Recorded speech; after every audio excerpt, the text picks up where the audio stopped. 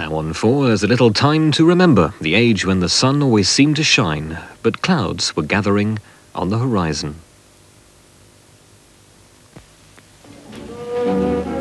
All life is bare, gloom and misery everywhere, stormy weather. Just can't get my Things and faces, friends and places, years and moments half forgotten, laughs, fears, songs, tears. Memories are made of this.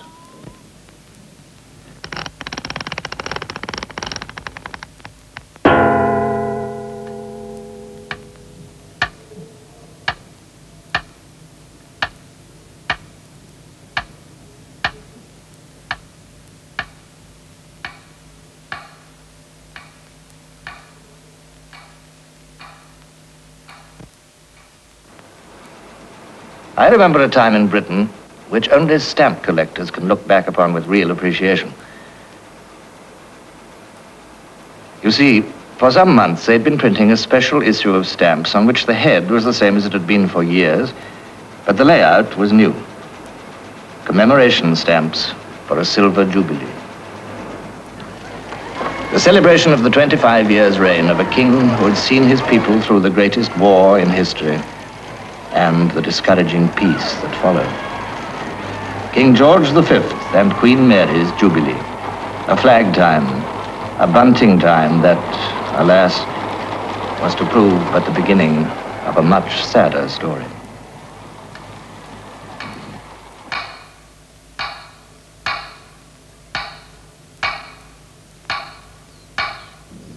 Yes, Britain in 1936 was a land that had known a quarter of a century under the same king, in a world changing bewilderingly fast.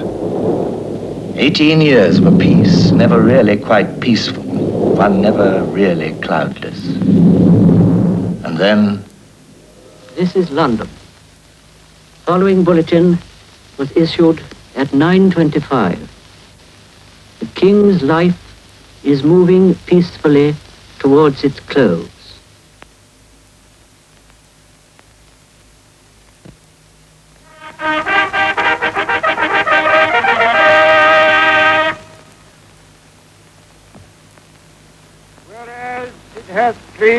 Almighty God to call to his mercy our late sovereign Lord King George the Fifth of blessed and glorious memory, that the high and mighty Prince Edward Albert Christian George Andrew Patrick David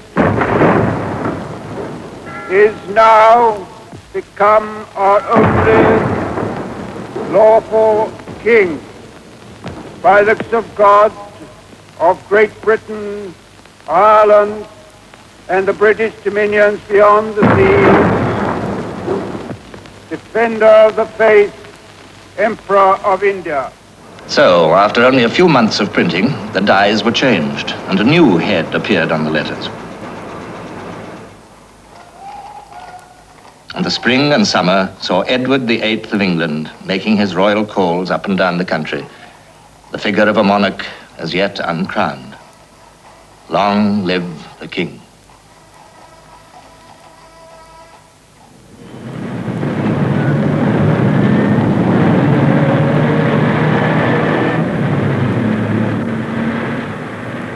In 1936, the streets couldn't be said to look very different from the way they do now.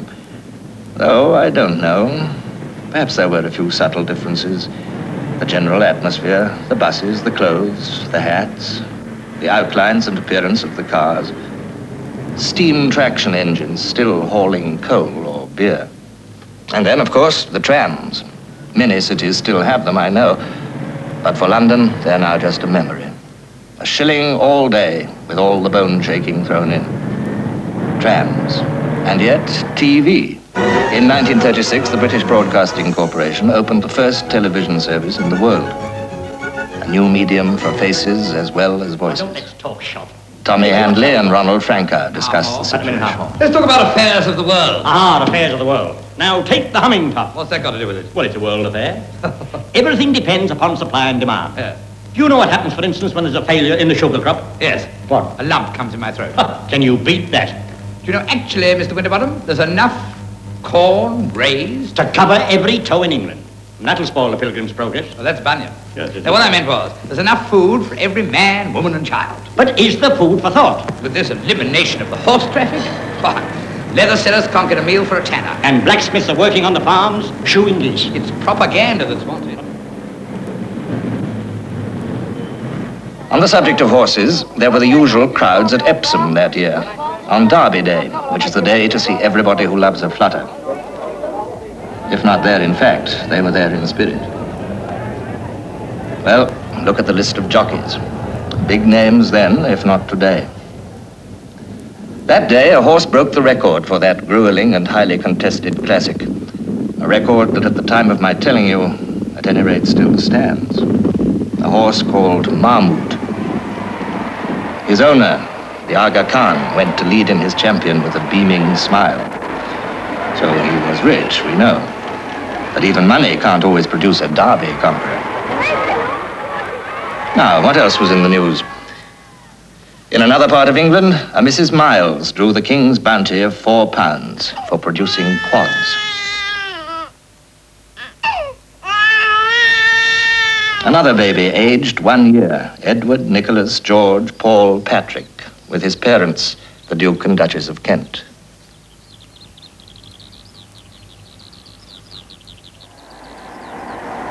In the Netherlands, Princess Juliana announced her engagement to Prince Bernhard of Germany, a naturalized Dutch subject. A marriage that was to last in spite of preliminary opposition.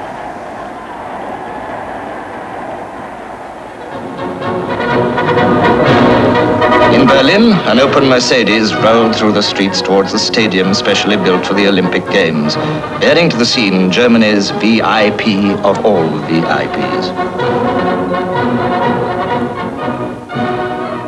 Then the torch arrived from Greece, and in the presence of Adolf Hitler, the flame was lit.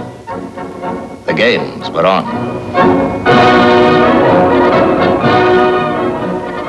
Flags flying together, the nation's athletes marching shoulder to shoulder, regardless of color or creed, binding the ties in a common bond of sportsmanship. Yes, it was all very hail fellow well met. But when the doves of peace flew upwards over the Führer's head, it was into a sky not as cloudless as it might have been for such an occasion. For in the nearby demilitarized Rhineland, the tramp of soldiers' boots across the bridges had demonstrated to the world that Germany's VIP had an unusually vigorous mind. Afterwards, they found out that Hitler's troops had orders to withdraw at the first sign of opposition. Afterwards. So what, some said. After all, the Rhineland is Germany. But it wasn't exactly something to cheer about, not exactly another jubilee. Meanwhile, far away in Africa, the tramp of soldiers' feet again, oft times bare. For a year, the drums had beat in Ethiopia, calling the tribesmen to the defense of their country.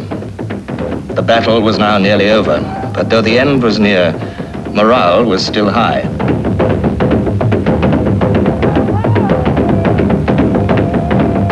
March and train, march and countermarch, with spears, bows and arrows, antiquated rifles, muskets and shotguns.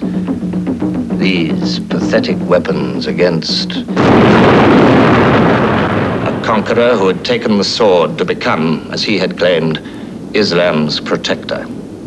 But Il Duce's protection meant for Ethiopia the onslaught of tanks, guns, and bombing planes. And against such force, spears and courage were not enough. With the fall of his capital, Addis Ababa, Haile Selassie, the Lion of Judah, sought sanctuary in Britain. The world might deem Ethiopia none of its business, yet, like it or not, the presence of that dignified figure on English soil was a reminder to the world of its conscience. In Egypt, a king had died after teeth extraction. His 16 year old son hurried back from Britain to take the throne. Farouk. In London, his ministers sought closer ties with Britain through the British Foreign Secretary. The little black clouds of Ethiopia and sanctions were to be good training for Anthony Eden for greater crises to come. And talking of little black clouds, the new German ambassador arrived in London, Herr von Ribbentrop. That day it rained.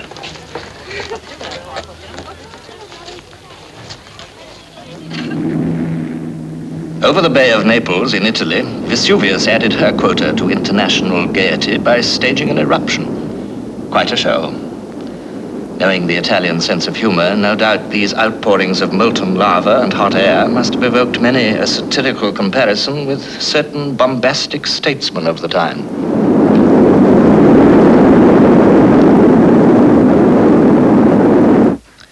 On the subject of hot air, somebody in 1936 brought out a new kind of gasless balloon.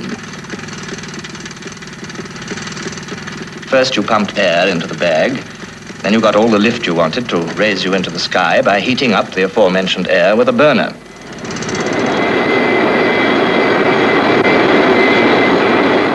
Highly ingenious, but when you think of it, surely highly inflammable as well. Progressive, but short-lived, but no doubt highly entertaining. And talking of entertainment, what movies were you looking at in 1936? The studios were busy in Hollywood and Elstree. Maybe it was Mimi with Douglas Fairbanks Jr. and Gertrude Lawrence. I've never seen Paris from so high up before. And I've never seen it looking more lovely.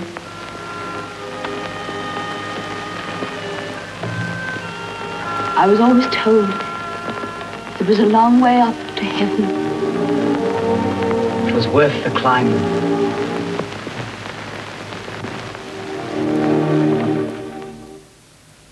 That face is Jack Buchanan. That is Googie Withers. And remember Edward Everett Horton? Good morning, sir. Good morning, madam. And it is a good morning, with the birds singing in the air, heavy with the fragrance of a hundred species of rampant flora. Oh, it's good to be alive, sir. Vibrant, tingling, full of animal spirits. Shut up! Buchanan against Jack LaRue.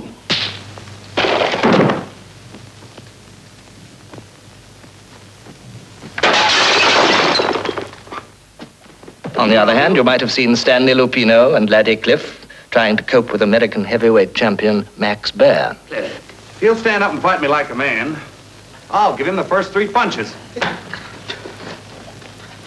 Did you hear what the gentleman said? Yes, uh, yes. You've got the first three punches. I'm not worrying about the first three punches. It's the fourth. Conference. Yes.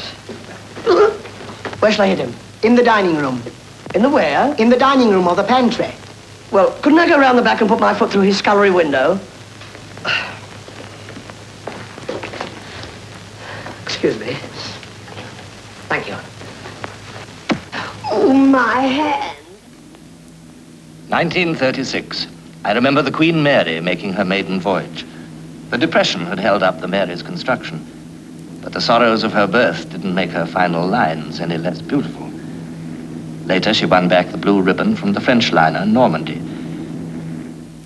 Yes, a beautiful ship.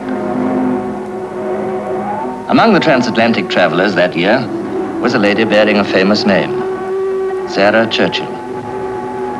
Then there was a Mr. Vic Oliver. Mr. Oliver, is it true that you're going to marry Miss Churchill? That is a statement that I cannot answer at the present time because, as I said before, I must wait till her brother Randolph arrives here tomorrow morning. And behind that great skyline, new concrete, steel, and great spanning bridges. An America demonstrating new strength in tremendous public works and giant undertakings. In the name of the people of the United States, to whom you, Boulder Dam, are a symbol of greater things in the future, and in the honored presence of guests from many nations, I call you to life.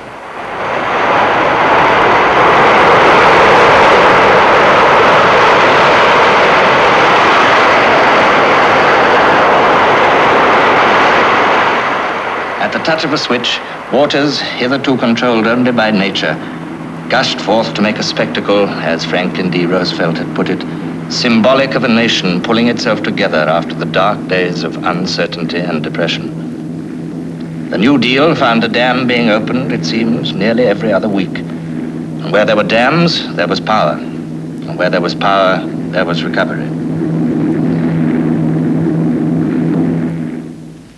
I recall well the docking of another ship on the Atlantic seaboard that year, because on her deck was a man whose opinions were always forthright. If you might be uncertain as to whether that was the most famous beard in history, the one man to convince you was G.B.S. Of George Bernard Shaw, the American reporter asked a very interesting question. About King Edward, sir. Uh, now, do you feel, do you think that he'll uh, take a wife now that he's uh, sent to the throne? Now, how on the face of the earth do I know? He's got on to middle life without being married. Why shouldn't he go on the rest of it without being married? There are heirs to the throne all round him. He can't get married now without cutting out his niece. He's very popular. And you think for that reason it might uh, hold him back from getting married? Well, I don't speculate about it at all. It's impertinent. To do. He doesn't speculate about whether I'm... Well, I forgot I'm married, of course, already, so he wouldn't uh, have anything to say about that. A month or so later, an American newsreel had more to say on the same subject.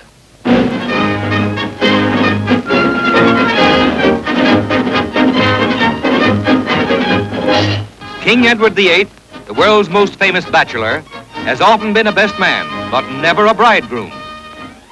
At the wedding of the Duke of Kent, King Edward seemed pleased to see his youngest brother march to the altar, but his own wedding march has yet to be written. Today, the American press is filled with rumors of royal romance, of the possibility of King Edward marrying Mrs. Wallis Simpson, the former Baltimore belle. Yesterday, as a girl, she lived in Maryland in this quiet and humble Baltimore home. Tomorrow, she may dwell in Buckingham Palace. King Edward and Mrs. Simpson have been pictured together on many occasions. And in this topsy-turvy world, it may be time for an American woman to marry a British king. Only one man knows the answer, and as yet, he is keeping it a royal secret. But such voices were as yet unheard in Britain. A Britain looking forward to the pomp and ceremony of a coronation, planting coronation trees, making coronation mugs, stamps, and generally expressing its enthusiasm for the popular central figure of that coming coronation. No summer could ever be subdued by a mere handful of clouds. What did you do that summer? If you were in Britain, maybe you went to Henley, or you didn't. Maybe you went to the bowling greens or the cricket fields, or took to the road cycling, motoring, or hiking, or you didn't.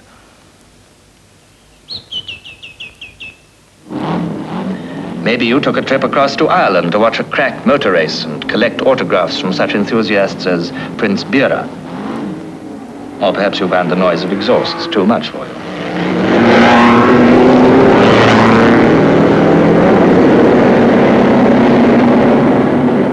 Maybe Cowes, where you could see the towering canvas of the Endeavour, one of the giant contenders for the America Cup.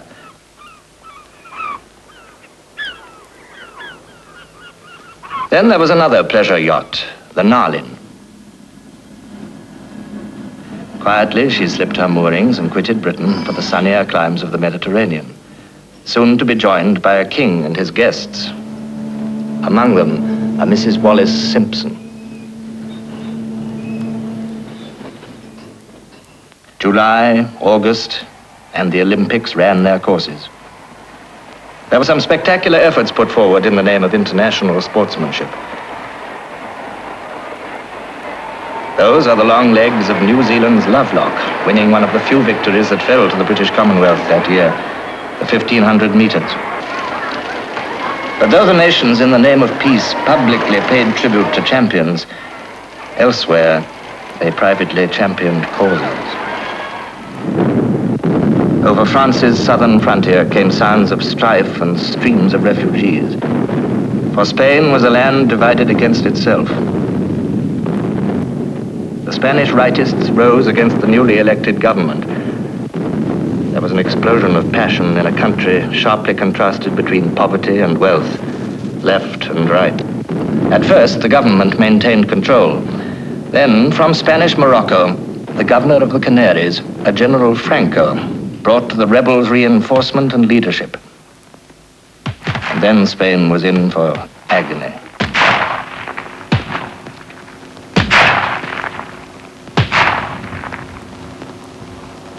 In that bitter struggle for a country, other nations took sides.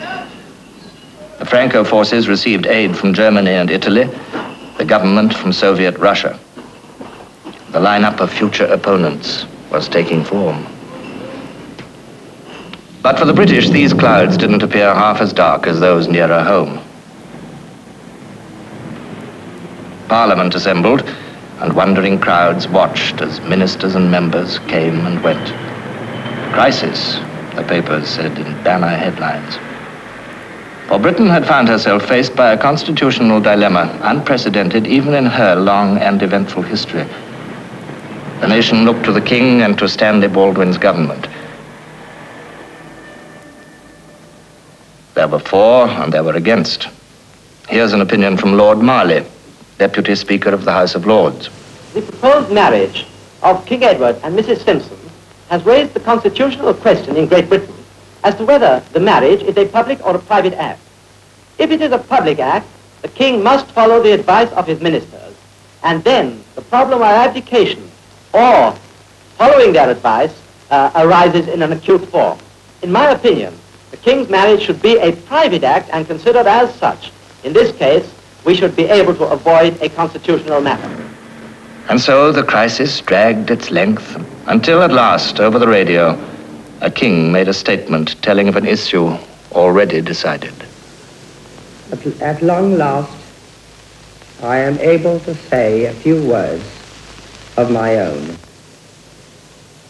I have never wanted to withhold anything, but until now, it has not been constitutionally possible for me to speak. You all know the reasons which have, have impelled me to renounce the throne. But you must believe me when I tell you that I have found it impossible to carry the heavy burden of responsibility and to discharge my duties as king as I would wish to do without the help and support of the woman I love. And now we all have a new king. I wish him and you, his people, happiness and prosperity with all my heart. God bless you all. God save the King.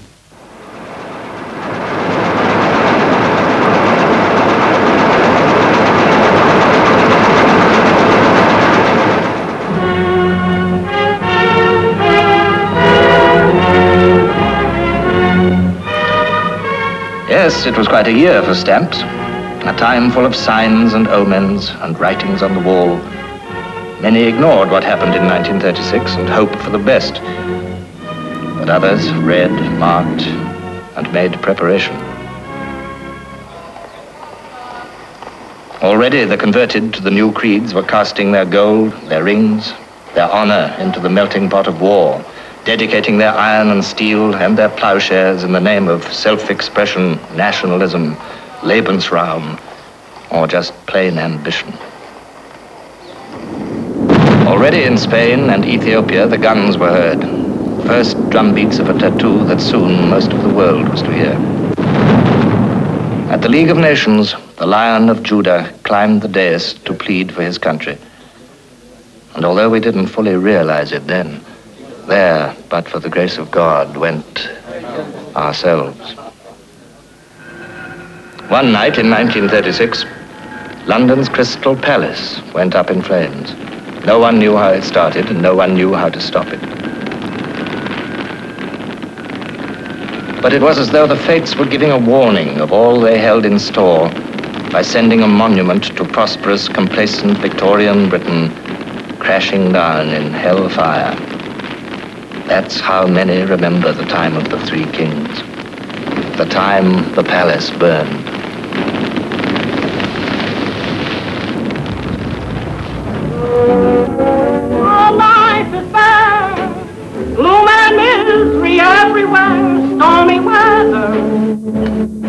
Just can't get my full self together. It's raining all